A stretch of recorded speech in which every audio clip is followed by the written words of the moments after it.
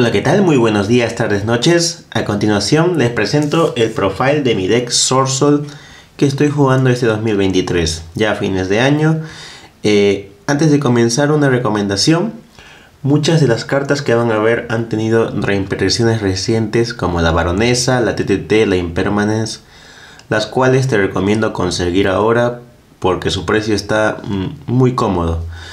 Eh, Voy a enseñar a usar cada carta por si hay alguien que recién está usando el deck source o quiere aprenderlo. Y también habrá un par de combos por si alguien, hay alguien veterano puede comentar el combo que desee en la cajita de comentarios. Sin más que decir, vamos a comenzar. No te olvides de dejar tu like y suscripción. Y comenzamos. Primero que nada, en main deck sí o sí tenemos que jugar eh, triple molle a ver, Molle es el core del deck, es un level 4 eh, cuando es invocada de modo normal o especial. Si mostramos una carta Source o Weird en nuestra mano, inmediatamente invocaremos un token con el cual haremos nuestros sincros. Y esta carta, al ser usada con un material de sincronía, nosotros podremos robar una carta. Esto será muy bueno porque baitearemos la Ash Blossom que nos lanza el enemigo. Por eso es que esa carta se lleva a tres copias. Siguiendo con cartas que llevamos a tres copias, tenemos a el estratega Don Yuan. También tenemos que llevarla a tres copias esta carta. Tiene nivel 6, sin embargo, se va a invocar muy fácil, igual que Moye. Eh, esta carta podremos eh, descartar una carta de la mano, ya sea Weird o Sorsol y va a caer de modo especial. Cuando cae, nosotros podremos invocar de manera especial un token al campo. Con esto nosotros haremos nuestras invocaciones sincros. Eh, además, esta carta te da acceso a cartas muy poderosas de nivel 10, ya sea del mazo o fuera de este, como es Baronesa.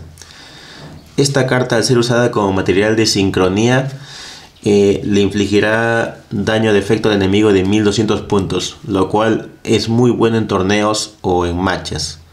Por eso es que esta carta se lleva a tres copias. Luego, siguiendo con los Soul, juego doble talla, dos copias de Soul of Talla, y voy a explicar por qué. A diferencia de Molle, Talla, por más que tenga nivel 4, para activar su efecto necesita un Wyrm o Sorcerer en cementerio, lo cual en primer turno no será lo más común. Por eso es que Taya se juega dos copias, a diferencia de Molle.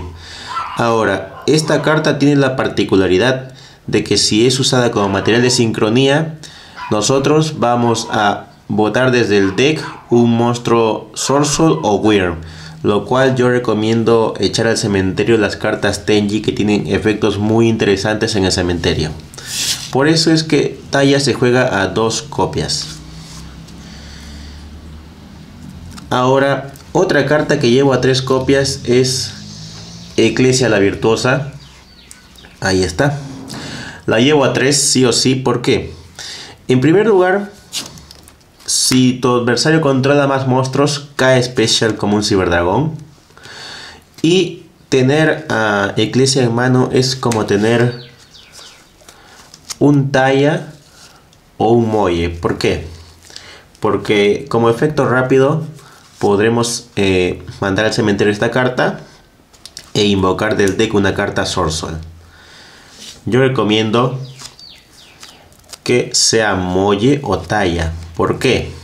Molle si es que tienes algo que mostrar en mano para aplicar su efecto e invocar su token. Si no tienes nada en mano, te recomienda Talla.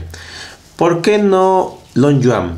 Porque Long Yuan aplicará el token siempre y cuando se invoque con su efecto. Por eso es que debo jugar tres copias de la virtuosa. Es como si tuviera un Molle y un Talla en mano. Seguimos ahora con lo que es el combo Tenji. Para el combo Tenji requiero de triple Ashuna, triple Vishuda y triple Adara. Vamos a explicar el uso de cada una de estas. En primer lugar, eh, todas caen special si es que no controlamos monstruos o controlamos un monstruo de un monstruo normal vainilla. Eh, pero Ashuna tiene la particularidad, particularidad de invocar un Tenji del deck. Bishuda levanta una carta que controla el oponente a la mano. Y Adara recupera desde el Vanish. O sea, un monstruo Weird o Sorcerer, lo que nosotros queramos, lo podremos recuperar con Adara. Estas son las piezas fundamentales del combo Tenji. Antes jugaba esta, esta Dara a 2, pero a 3 es necesario. Y la última es una Estana. Estana se juega con Dragon Circle por si nos meten Baylor o Impermanence a nuestro Molle o Talla. Solamente una copia es necesaria. Dejamos el combo Tenji por acá. Y seguimos. Para terminar lo que es eh, apartado de monstruos, juego doble Ash. Ya todo el mundo sabe lo que hace la Ash, así que está de más explicarlo. Lo único que puedo decir es que la uso a 2 por el formato actual, que es, está lleno de Dex Control. Mm, nada más que decir. A dos copias. Si tú ves necesario usar la 3, puedes llevarla. Hay muchas reimpresiones. Con eso terminamos lo de monstruos. Ahora vamos a pasar rápidamente con el apartado de magias y trampas. Ahora tenemos lo que es Emergence. Triple Soul Emergence. ¿Qué hace esta carta? Esta carta es la buscadora Soul. Puede buscarte la carta Soul que desees. La traes a la mano. Además, eh, si nosotros controlamos una carta de sincronía y activamos esta carta, en vez de buscar cartas Soul, podemos buscarnos un Weird en general. Con esto se solía buscar el Protos. Y mm, podemos buscarnos una carta Tenji, etcétera, lo que nos haga falta. Pero por lo general servirá para buscar cartas Sorcerer, que son las mejores. Emergence debe jugarse a tres copias. Siguiendo con el apartado de magias y trampas, lo que es Sorcerer, una copia de, de Sacred Summit porque una copia de Sacred Summit eh, nos permitirá... Eh, es el... Renace el monstruo del deck, el Monster Reborn. Seleccionamos una carta Sorcerer y la resucitamos. Por otro lado, si controlamos eh, un monstruo de sincronía, en vez de resucitar un Sorcerer, podremos resucitar el Win que nosotros queramos. Además, estas magias tienen la particularidad de que si son desterradas, podemos aumentar en 1 o reducir en 1 el nivel de uno de nuestros monstruos. Solamente un Sacred Summon es necesario porque es muy buscable esta carta. Seguimos con las magias, juego triple TTT. Es muy común que el rival active sus efectos en nuestro turno con las hand traps, así que nosotros tendremos la oportunidad ya sea de robar dos cartas, draw power, de ver la carta del oponente y devolver una al deck en caso de que tenga Nibiru o cualquier otra carta problemática y tomar el control de un monstruo. Seleccionamos uno de esos efectos y los aplicamos. Por eso es que yo juego esta carta a tres copias. Y tiene reimpresión, aprovechen comprarla. Siguiendo con las magias tenemos doble Dragon Circle y Crossout Designator. Y voy a explicar cada una de ellas.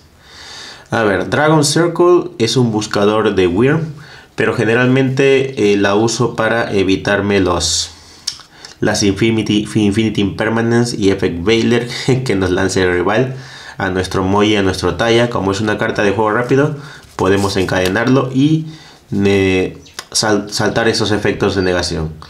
Y Crossout Designator tiene la misma funcionalidad, simplemente funciona contra eh, Infinity Impermanence en nuestro deck.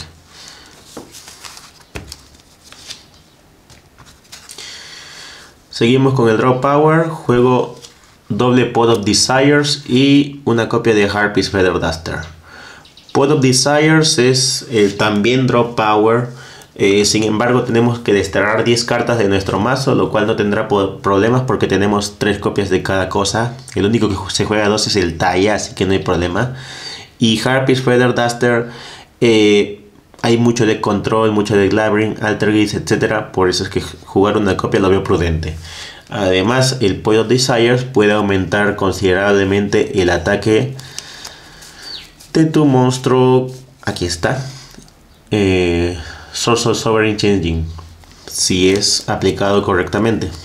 Ya que subirá su ataque con cartas desterradas.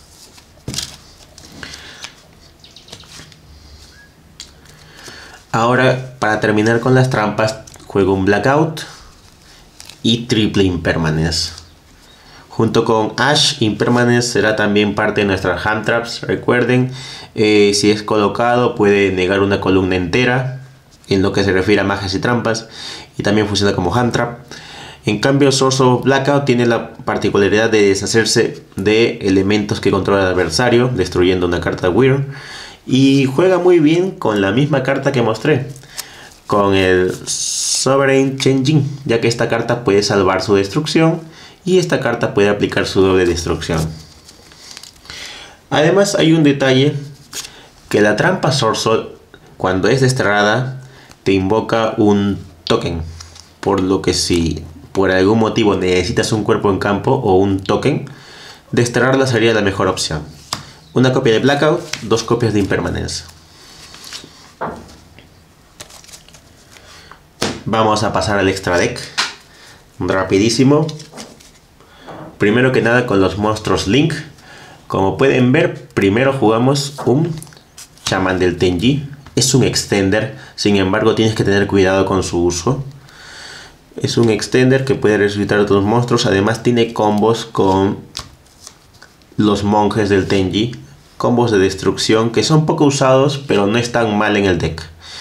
Eh, el monje del Tenji te permitirá aplicar los efectos de todas las cartas Tenji ya que es un vainilla y se debe jugar a tres copias. Chamán a 1, Tenji a 3. Luego vamos a pasar rápidamente por los de level 8 Doble Sorcerer of Chixiao.